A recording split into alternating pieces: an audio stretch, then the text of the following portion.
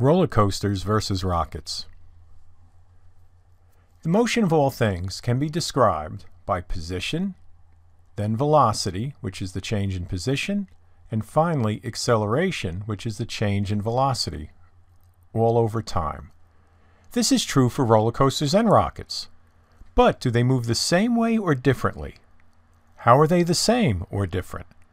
Think about roller coasters you have ridden or watched. Discuss. Roller coasters and rockets certainly look similar in that they go up and then they go down. But there is a big difference. A rocket, once launched, is in free fall. Right? Even when it's going up, it is still in free fall. Why? Free fall means a rocket only feels one force, the force of gravity. It experiences a constant downward acceleration, right? Gravity's always trying to pull you down of g is equal to 9.8 meters per second squared. All rockets, once launched, move the same way.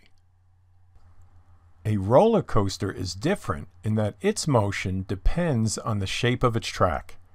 When the track is steep, like this, the roller coaster accelerates a lot. You keep getting faster and faster.